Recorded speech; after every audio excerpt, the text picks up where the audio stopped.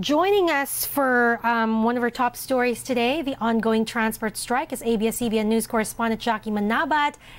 Uh, Jackie, what's going on? How are the commuters? I know you're joining us live from uh, Monumento Circle in Caloocan, correct?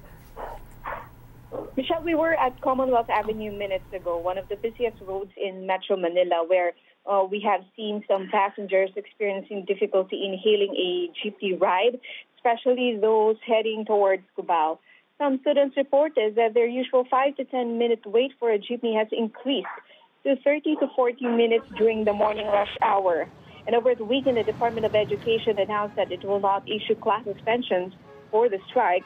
However, local governments were given discretion whether to suspend their classes or not.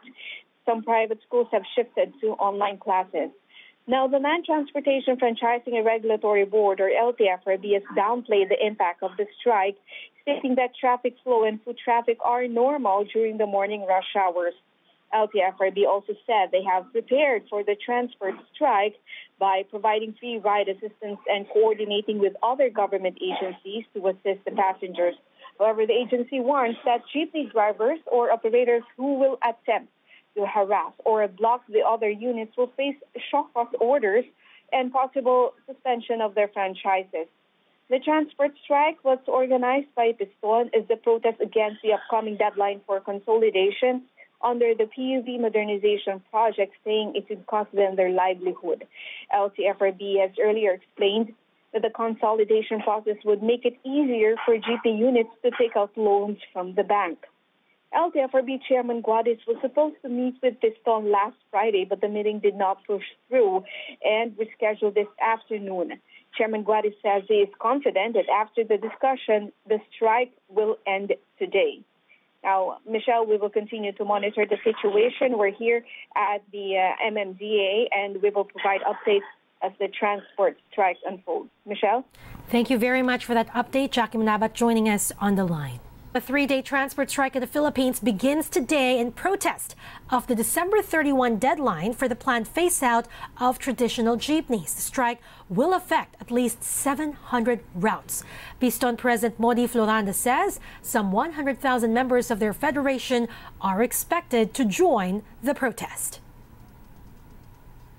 Tinitiyak natin yung mga membro ng uh, iba't ibang mga federation ay uh, nagpabot sa atin na sila ilalahok.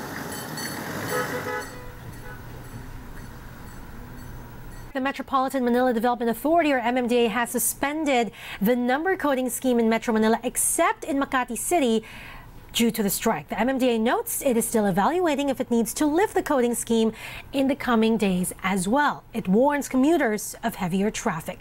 Now, over in Quezon City, the police there are offering free rides to commuters affected. The Quezon City Police District has mobilized a dedicated team of officers and 25 vehicles to assist affected commuters across the city. The QCPD has also deployed its personnel to make sure the free ride program is free from illegal State Pension Fund GSIS set to release more than 3.4 billion pesos in Christmas cash gifts to eligible pensioners starting December 6th. Over 300,000 old age and disability pensioners are qualified to receive the cash gift that's equivalent to one month pension up to a maximum of 10,000 pesos. The money would be credited to the pensioner's e-card.